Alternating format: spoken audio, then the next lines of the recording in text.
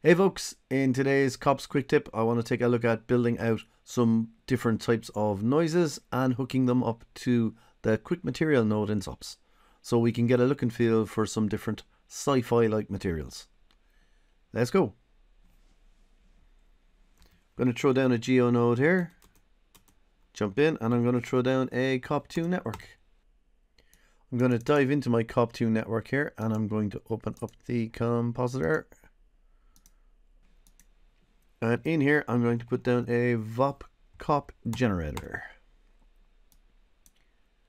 We can use the VOP cop generator to create our own noise patterns within COPs, and the big advantage to it is, is we get lots of resolution. So let's go and set up our resolution now. I'm going to go to Edit and down to my composite settings, or Alt Shift and I. And I'm going to change the default to 1024 by 1024. Now I want to do this because all of the uh, generator nodes like like noises and the color nodes and ramps and things like that will go to the default project size. So if I want them all to be the same size, I want to set that up at the start. Going to jump into my VOPCOP here. We're going to build out some noise in here and we're going to use the unified noise type to do this. Something to just be aware of is that if we look at the unified noise help node over here, we can see that it comes with a note and that it there is two versions of unified noise. Uh, one is static and is precompiled, so it's a bit faster, and the other one is dynamic. Now, uh, dynamic in this case means that you can change the noise type and the fractal type. So if we use the static type, we will not be able to promote the noise type parameter. So you won't be able to change from Worley over to Perlin at the COPS level. You will have to dive into the VOP the whole time. Um, it will be a bit faster, but you'll lose that functionality. Now, since I'm going to be playing around with this node quite a lot for different types of noises, I want access to the noise type. So we will be using the dynamic type, which will be a little bit slower because it will need to compile. We're going to use unified noise here. Now I want to drive the position, which I'm expecting to be up here and near the top because it's pretty important, but it's sort of hidden away down here under this other section. It is a vector that's a lighter green color and our X and Y position are floats. That's why they're this more washed out green. So we will need to convert the types. So we're going to go from a float to a vector first. So we're going to take these two floats and plug them in. And then we're going to go from a vector over into position. Then we will need to go from a vector back to a float so that we can hook up the noise to the RG and B, which are float values. Now there is some noise there. It's very, very large, so we'll need to adjust it. Uh, we can do that in just a minute. We're going to promote the parameters first. So I'm going to come down here and say create input parameters. Now it's going to give me this error, and that is uh, because of what I mentioned in the help docs. It does not want to promote the uh, signature and noise type. So we will need to delete these two parameters down here, F scale and the signature as well, I think. And now it will work for us. So if we jump back up to this level, we can see that we have access to some of our controls just here. Uh, rather annoyingly, it will put the new parameters down in this section down here. If you wish, you can go in and edit the parameter interface so I have previously added a noise parameter folder which I save as a permanent default. So I can scroll down here and I'm looking to go under sequence. That's the last of the, the normal folders. So here's all of the things that we just promoted. And I can grab all of those and I can just drag and drop them under the noise parameters folder here and click accept. And that just cleans up my interface just a little bit. That's not a requirement. It just helps with my OCD. Um, so now we can go and adjust all of our values up here. So I'm going to change the noise type from simplex over to Worley Cellular F1. And that's going to get me more of this cellular like shape. I'm going to change the frequency. So I'm going to put it up to maybe around 4. So now we can start to see the cellular breakup. We can of course go in and play with all of these values and I would encourage you to do so. By default, this is not tiling. You can in theory go and play with the periodic values here uh, to try and get it to tile correctly. Though the trade-off will be you will lose some of the randomness. So I'm quite keen to get this back out into SOPs. But within COPS, I want to be able to control the colors here so I don't get just black and white. Yeah, so I'm going to use a blend node to blend some colors. I could use a composite node, I guess, as well here, set to average maybe, and should get me probably a similar result. Uh, but I'm just going to use the blend here. So, and I'm going to put down uh, two different color nodes here. Let's make one of these orange, and let's leave the other one at white just for the moment. And we can control this with our mask and this does not get me what I expect, which is that this, that this black and white mask here is going to control where the orange appears and where the white appears. And that, of course, is because I have not checked my alpha. Now, so you just need to do this all the time, much as in Nuke, you need to check that your alpha is what you expect. If I come over my viewport here and I hit the A key, I can see that my alpha is in fact just all white. So I need to go and create a correct alpha here. I can quickly check this on a thumbnail as well by uh, opening up the thumbnail and I can click here to go through my various different planes and we can see that the alpha here is all white so I get all of one color in which in this case the first input I need to go and create an alpha I can do that using a channel copy and I could channel copy the red channel into the alpha for example or I can jump into my VOPCOP here and I can take one of these float values and it's a black and white image so they're all the same and I can plug that into alpha just here and if I go back up and if I come back down to my blend node here, I'm expecting it to have changed. Now it hasn't, and sometimes you need to give it a bit of a kick.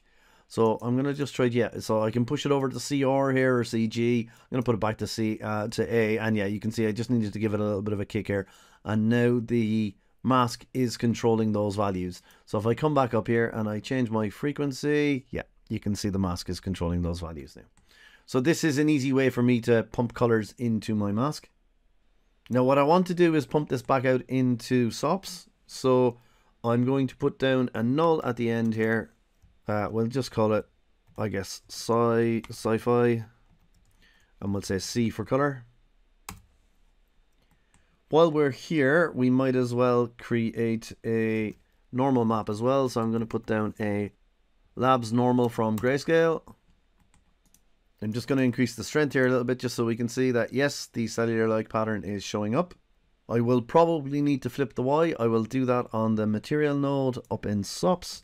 So we'll just copy this null here to keep the naming the same and change this to in for normal. I'd also like to be able to control the roughness as this is going to be a shiny type sci-fi material. So I'm going to copy all of these guys just over to here by holding the Alt key and just dragging them across. Put down a null down here, just copy that null as well, and we'll call this R for roughness. Now, in the case of my roughness map, I want it to be uh, very light because it's going to be a shiny material overall anyway. So I'm going to set this one to 0.5. The other one is already set to 1. Uh, if I want to have slightly better control over the values there, maybe I can add levels just in between.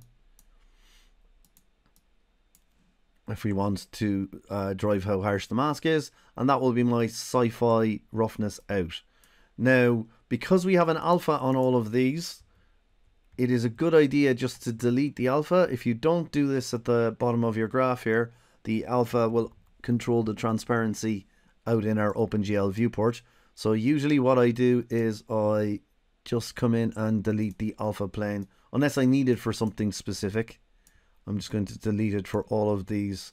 So that should be my base cop setup done. Let's jump back up to our SOPs view. Now, something that I've only recently realized is that the, the COP network itself comes with a default plane. Uh, it's set to mesh by default. And if you zoom in on it, you'll see there's a default plane here. And by default, what it's doing is it's displaying the node with the export flag on it. Uh, which in this case is actually this node here. That's what this brown guy represents the export node. So if I was to put it down here, it's now displaying this particular part of the graph. Now in my case, what I actually want to do is use a quick materials node because I want to be able to control more than just the base color. So I'm going to put down a quick materials node here and I need to change my comp net from mesh to quad with UVs. And now I have to go and hook up my various different parameters here to my textures. The easiest way to do this is to split off your viewport so you can be in cops and sops at the same time. I'll try and do another quick tip on my own desktop setup for doing this kind of stuff. But I have a setup already, so I'm going to jump over into it. So now I have cops over here and I have sops on my left hand side. And what I can do is I can come down to grab my color here. I can drag and drop it in just here. Uh, and that gets me the full path towards that null. And I have to put OP colon in front of it. And that will grab me the color. Now I can go and grab the normal map as well. And I can put OP in front of this. And I can do the same thing for my roughness. Now all of my texture maps are loaded in. I'm going to go back to my cop network here and I'm just going to change the orientation so that it is facing upward. Now I've got a normal map in here in roughness, but of course I've got no lights, so we can't really see the effect. So I'm going to jump up to the OBJ level here. I have a little default setup I use for lights, which I've stored on a shelf. And again, if you hit me up in the comments, uh, I might try and find some time to go and create a short tutorial on setting up the lights. Now the issue here is, is that my CopNet is very, very small by default. So I'm just going to put down a transform node and I'm going to transform it up. And now you can see, yeah, my lights are somewhat relative to my grid here. I can jump back up to my OBJ level here and I'm just going to play around with the lights and I'll come back to you in one second when the lights are set up. So I've just gone and adjusted the lights just so I can see a little bit more of the normal map popping up. I'm going to jump back into my object here and play around with my quick material settings. Because I'm going for a more sci-fi type of feel, I'm going to increase my metalness just a bit here. Uh, I'm going to play around with the roughness and the IOR as well. And I'm going to flip the Y on the normal map. So I paused the video and I played around with my setup a little bit. I'm not quite sure why, but because this is set to 1, it is causing the OpenGL viewport to draw incorrectly. This is most likely just one of those joys of graphics cards things, you may or may not run into it. Uh, in my case, all I have to do to fix it is just lower this value down a little bit. And you can see that it is behaving itself a little bit better now. Uh, I can go back and adjust all of these values. Uh, so in my case, I'd like that the other way around. I don't want it to feel quite so orange. So I'm going to go back to my mask here and I can complement it. And that will flip it in the other direction. And now I can come along and maybe change this over to maybe a red or something like this and I'm getting this kind of nice cellular, maybe sci-fi type pattern a little bit. So this is the basic setup where I can now control the color, the roughness, and the normal map, uh, all using the same basic noise shape. So what I would suggest you do now as kind of uh, further study is to try out the different noise types. They're quite fun to play around with. I'm going to go do the same and I'll before I wrap up I'll show you some other examples of different noises that you can create. So I've gone and adjusted my quick material here and I uh, played around with the roughness, the IOR, and I made it a good bit more metallic so, so we get a nice sheen across the surface. And I went and created some more noises over here. This is the Worley pattern we had previously. That's the one we're looking at at the moment. We can change this over to this one here. This is using the unified noise type and it is set to Perlin and I'm playing around with the periodic value so I get this repeating shape across the surface which gives this kind of maybe uh, anodized metal kind of feel to it maybe. Uh, this one over here is again unified noise. This was the static type, so I have to jump in and out to change the um, change the type here. In this case, it's set over to Chebyshev uh, cellular. So let's go and take a look at that one. And we get that kind of blocky sci-fi panel kind of feel. Now it does pop if I go over the top, that's the normal map popping in the direction. But you can see that fairly quickly with the one noise type, and there's quite a few other ones in there, I get lots of different patterns fairly quickly. So this is a relatively flexible setup for creating uh, some base type materials within COPS. So hopefully you're starting to get a feel for some of the possibilities of creating textures within COPS.